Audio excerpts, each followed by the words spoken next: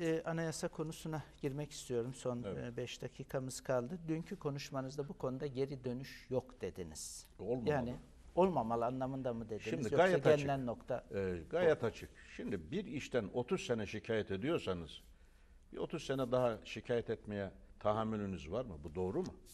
Anayasa yapıldığı günden beri şikayet etmeyen kimse yok. Kesim yok, örgüt yok, parti yok. Herkes diyor ki bu anayasa Türkiye'ye dar geliyor. En e, şey ifadesiyle. Bu anayasa Türkiye'ye dar geliyor. Bu anayasa Türkiye'yi geleceğe taşıyamıyor. Ömrünü doldurdu. Ben de dedim ki son kullanım tarihi çoktan geçti bu anayasamız. Birçok kişi böyle söyledi. Birçok parti böyle söyledi. Dolayısıyla geldiğimiz noktada bir beklenti oluştu. Bir de taahhüt var. Bu, bu, bu dönem bu anayasayı yapacağız diye. Şimdi bu süreci başlattık. Çünkü şu an sorduğunuz sorularda dahi Evet. hepsinin bağlantısı anayasayla. Anayasa. Yani e, dünkü konuşmamda da söyledim. Yani son bir aylık partilerin grup toplantılarına, gazetelerin manşetlerine, köşe yazarlarına konu olan e, şeylere bakın.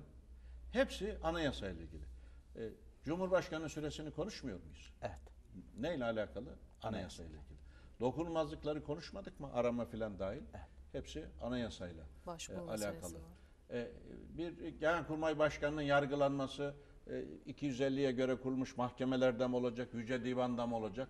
Herkes anayasa 145-148 diyor. Hepsi anayasayla alakalı. O zaman madem ki süremizin sonuna geldik. Buyurun. Eskiden beri şöyle bir şey vardı. E, her sabah dünya yeniden kurulur, her sabah taze bir başlangıç. Şimdi ben bunu değiştirdim. Her sabah dünya yeniden kurulur. Evet kuruluyor.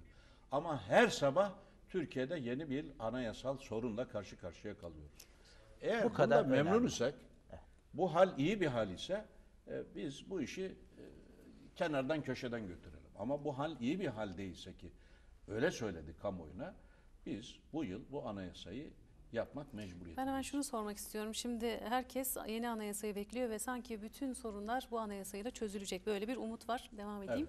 Ee, O doğru şimdi değil. e, dört farklı görüş var. E, farklı farklı fikirlere sahibiz ve e, orada dokunulmazlıklar meselesi var. E, ki gelen maddeler arasında da tartışmalar çıkacak.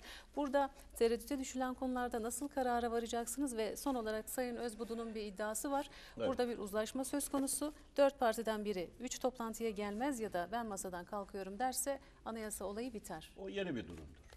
Şimdi şu ana kadar böyle bir durum olmadı. Anayasayı devirirler, e, masayı devirirlerse bö- bö- masanın bö- altında kim bö- kalır efendim? Böyle böyle. İşte kamuoyu bu işi ciddi takip etmeli. Bütün sivil toplum kuruluşları bu işi iyi takip etmeli. Biz bu, bu dönem bu anayasayı yapmalıyız. Herkes olmasın diye, olmayacak diye papatya falı açacağına bu iş olsun diye bir gayret edelim. Bize düşen sorumluluk budur.